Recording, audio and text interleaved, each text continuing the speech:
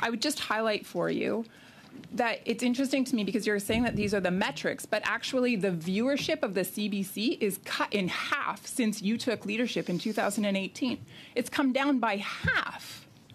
So it's interesting to me that you're giving bonuses or performance awards when in fact the CBC is performing the poorest it's ever performed.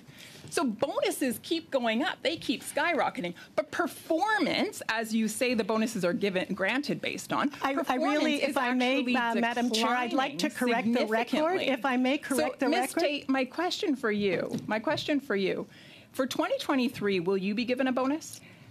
I would like to correct the record, if I may, Madam Chair. First of all, I don't believe the number was 16 million in, in last year. I'm going to ask Marco Dubé, who, who manages this, the people in culture at our company, to correct the, um, the error that um, the member has stated. I sorry, Madam Chair, through you, I, I do have a question on the table, and that is, Ms. Tait, for 2023, will you be given a bonus? I'm going to come back to your question after he corrects the, No, the record. Madam Chair, I would ask you, through you, Madam Chair, the witness knows that her instructions here are to answer the questions that have been We have given. 27 she can correct the record by sending in a written notice if she wishes. You can do that, Ms. Tait. You have, you have, in fact, you've gone over time. My, my time has been interrupted numerous times because the witness doesn't want to answer my question. It's very simple. Will she be given a bonus in 2023? I, it's not my decision whether I get, uh, get a bonus or not. Let's just be clear. Thank you, thank you. That's enough time.